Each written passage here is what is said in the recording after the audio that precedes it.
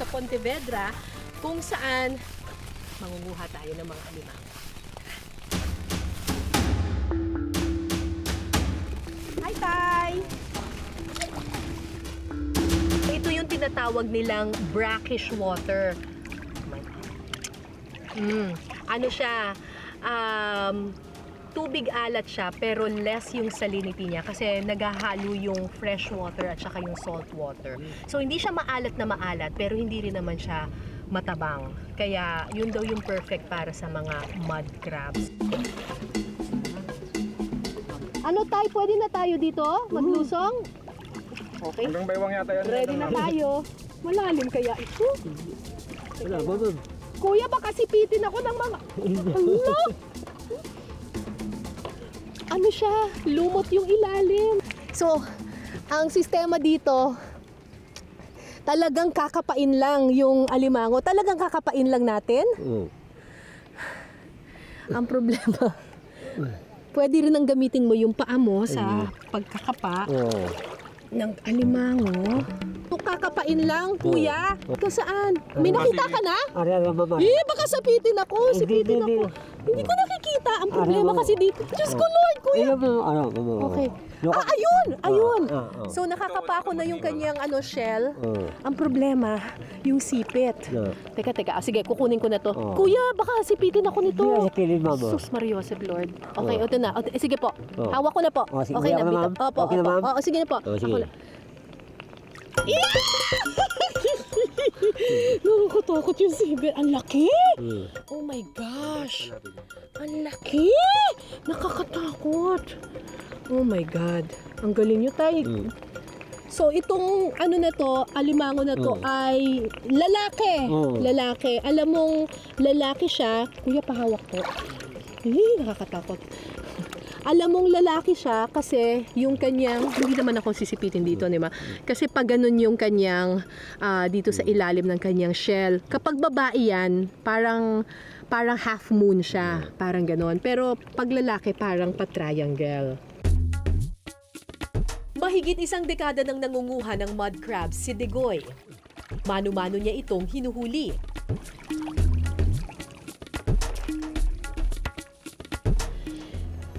Ayan na. Alright. Babae ito kasi malalaman mo kasi malapad yung kanyang ano dun sa ilalim ng ano. Pero ingat lang. Saan po ba dapat hinahawakan para hindi man- manipit ito?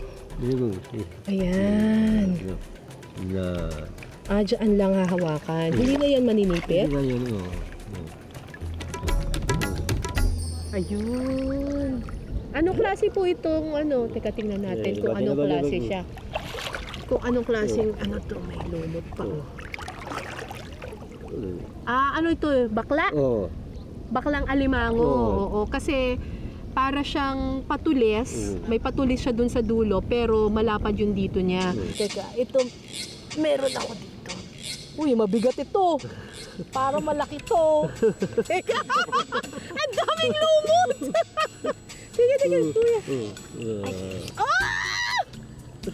Look at that. Oh! Parang king crab na rin ito ah. Ang laki. Magkalipas ang 20 minuto, nakahuli na kami ng tatlong alimango. Eh paano naman kaya nila ito niluluto? So pagkatapos natin manghuli at magluto ng alimango, ito na ang ating reward. Kumain, syempre. Kasama ko dito si Roby Mar. Nag-prepare ka ng, ano to, apat na dishes Yes po, apat po na puro mud crabs. mud crabs. At para mas ma-enjoy ang pagkain ng alimango, may crab eating 101 tayo. Ang problema lang sa ano, sa crab, ang hirap niyang kainin. Kaya po Kasi dapat po kamayin. kailangan kamayin. Yes, papal- Oo, hindi ka pwedeng magpakasosyal kapag kumakain ka ng alimango, kailangan talaga kinakamay siya. Yes po.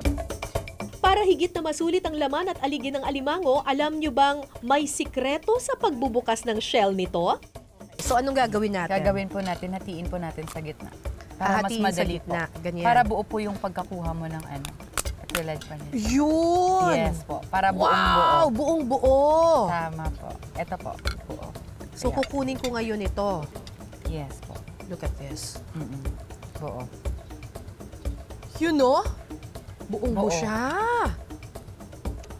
Ito ngayon yung aligi ng babaeng crab. Tama po, so makikita mo siya, orange na orange. Yung banda sa loob, yun oh. Ang sarap. Manamis-namis kahit yung mismong aligi. Alam mo, perfect ito sa ano eh. Aligi pa lang, pwede mo na itong halo sa kanin, ganyan, lagyan mo konting patis. Mm, harap. Very nice. Tapos, pwede, tapos bagay na bagay yung honey garlic sauce na parang malinamnam because of the butter Tama po. With the alige. Alige pa lang ang kinakain ko, malinamnam na. Okay, next. Tatanggalin ko tong Yes, mga, ano ba itong mga to? Diyan po siya humihinga eh. Ah, okay. So ito, hindi to kinakain. Hindi ito kinakain. Alright. So, how to eat a crab. Tapos, Nakapisnon style. I-ano Tapos, po natin. Sa gitna po. Hawakan sa gitna. Hahawakan Tapos sa gitna. i-ano. Ah, okay, okay, okay. Kaya ko yan. So, gaganyanin. Apo. Yeah. Wow! Look at that! Yun na, lalabas na yung ano.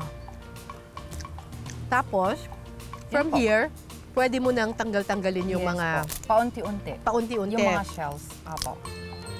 So, pwede mo na siyang tanggalin ng ganyan at Yes. lalabas na siya. There! Eto na ngayon. Mmm! Ang sarap.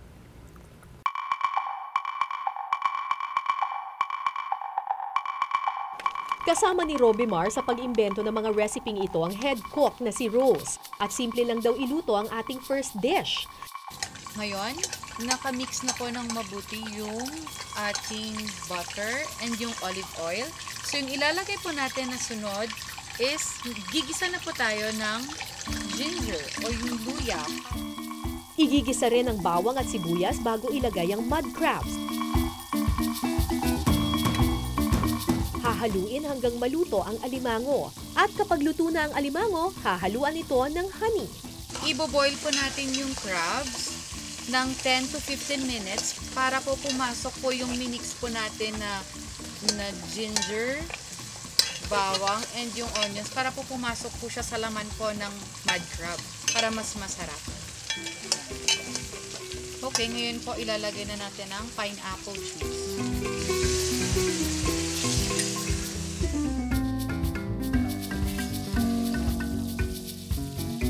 Ito na po ang naluto nating mud crab with honey and garlic. Honey garlic. Bagay na bagay ang bawang, yung flavor ng bawang with honey. And Tapos bagay na bagay siya with with the crab meat. At ito perfect na perfect ang pagkakaluto kasi talagang falling off the shell yung crab. Gusto ko siyang i-dip doon sa Sauce. sa sauce kasi bagay na bagay yung yung honey garlic sauce doon sa crab meat. So pwede mo siyang i-dip ng ganyan and fire away. Mmm. Ang sarap. Sarap! At ito na yung best part. Ako, favorite ko yung sipit eh. May mga ibang mga nagluluto ng crab Na na overcook nila, dumidikit na yung laman doon sa, sa Tama shell. po. Dapat perfect din po yung Dapat pagkaluto. perfect lang yung pagkakaluto. Enough na pag hinila mo siya from the crab, kusang lalabas yung meat. Tama po.